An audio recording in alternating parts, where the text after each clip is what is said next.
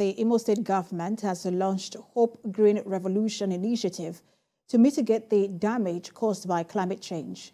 Governor Hope Uzodimma said the idea is to address the devastating consequences of extreme weather, especially the recent flooding that displaced thousands of households in the state. We'll have details in this report. Many households living along the coastal lines of Orashi River were among many Nigerians affected by this year's flood.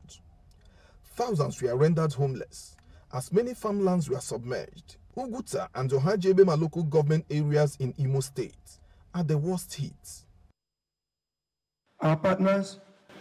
This gathering in Owerri is to find a lasting solution to the challenge posed by climate change and extreme weather, which fast-tracked the launch of Hope Green Initiative. The Industrial Development Department of the Ministry. The initiative focuses on carbon credit and finance carbon emission reduction, and tree planting, which will provide safer and healthier environment. The Hope Green Revolution is the birth of the first subnational in Africa going green.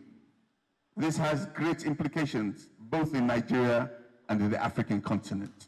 This program will put Imo beyond its proper place in the scheme of things globally.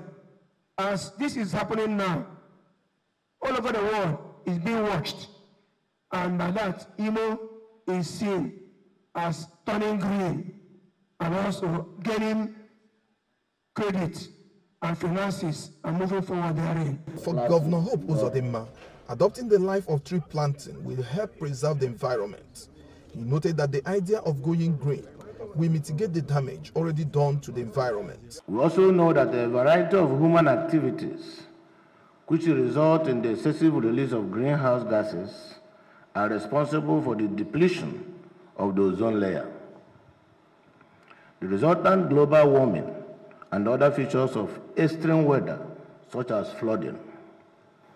It is reassuring, therefore, that something as simple as tree planting offers us a chance to contribute to the global efforts to mitigate against climate change and its devastating consequences. The governor flagged off the initiative by planting a tree and encouraged residents to do same to safeguard the environment. Prince Oba, TVC News, Owerri.